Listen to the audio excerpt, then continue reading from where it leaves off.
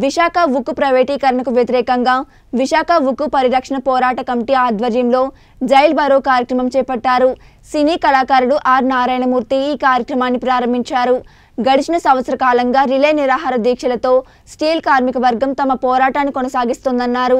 ప్రధాని మోడీ ఆంధ్ర రాష్ట్రానికి ఇచ్చిన అనేక హామీలను ఆయన నెరవేర్చలేదని ఈ సందర్భంగా గుర్తు చేశారు.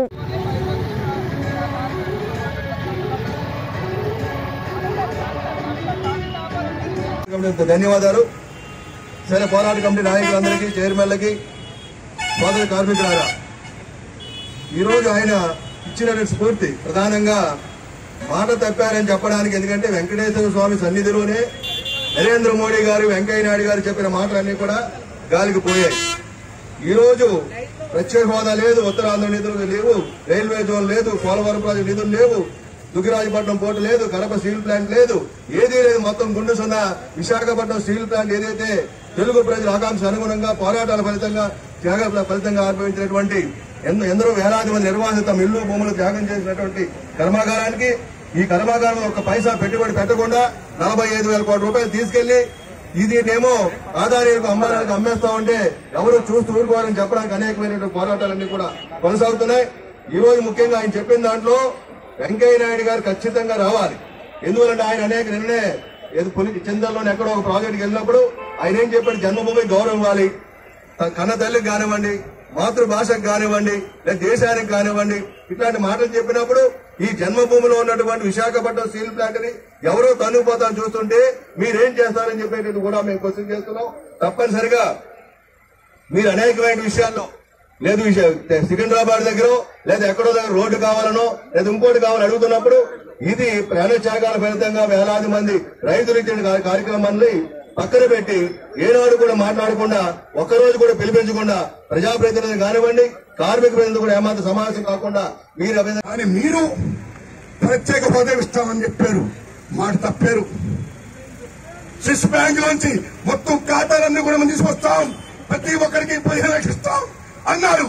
ఎవరా? మాట తప్పారు. శ్రీకృష్ణ కమిటీ రిపోర్ట్ ఏమైతే ఉందో ఉత్తరాంధ్ర గారి రాయలసీమ గారి ఈ వెనుకబడే ప్రాంతాలకి మేము ప్రత్యేక నిధులు ఇస్తామన్నారు ఎవరా మాట తప్పారు? రేడో జాన్ ఇస్తామన్నారు ఎవరా మాట తప్పారు? ఇవన్నిటినీ మించి ఆత్మ బలిదానాలతో ఏర్పడి విశాఖ ఉక్కు ఇప్పటికైనా మీరు ప్రైవేట్గా చేయకుండా మాట తప్పకుండా మా ఆంధ్రప్రదేశ్ ప్రత్యేక హోదా ఇచ్చి మా స్టీల్ ప్లాంట్ ఉరికిని మురుగాన్ని కాపాడి ప్రైవేట్ పరం చేయకుండా అమ్మకుండా పుణ్యం కట్టుకోండి సార్. ఏ అంబానీలు ఆదానీల కోసం కాదు ఈ రాజ్యం ఈ దేశం పిల్లల కోసం పిల్లల కోసం. ఈ మూల వనరులు మూల సంపద మూల సంపదంతా మూల జాతులు చెందాలి. ఇది మంది. అందుకనే విశాఖ ఉక్కు పరిరక్షణతో పాటు రాజ్యాంగ పరిరక్షణ కూడా మనం దీన్ని పరిగణిస్తూ విశాఖ ఉక్కు ఫ్యాక్టరీ ఎట్టి పరిస్థితులు కూడా మీరు ప్రైవేట్గా చేయొద్దు చేయొద్దు చేయొద్దు. ధన్యవాదాలు. ఇదే నా విజ్ఞప్తి.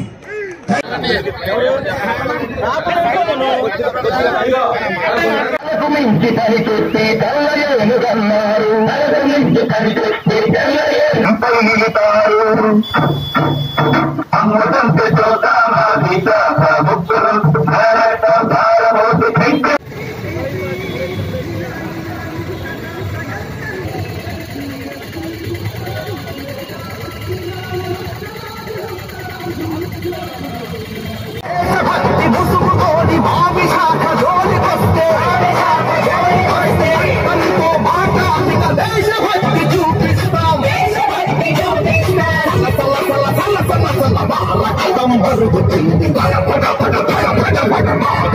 గుండె మండుతుంది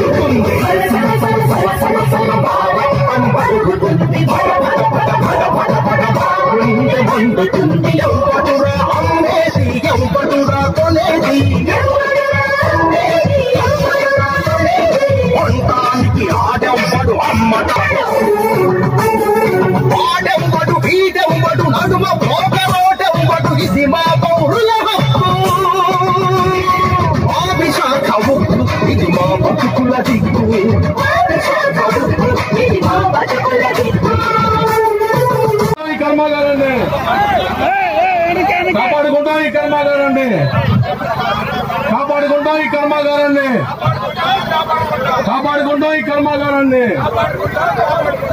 ఏమో ఇదిగో గారు మహాలక్ష్మి మీకు కూడా చెప్పాలా? నా- ఏంటి? ఉందా విశాఖ ఉక్కు విశాఖ ఉక్కు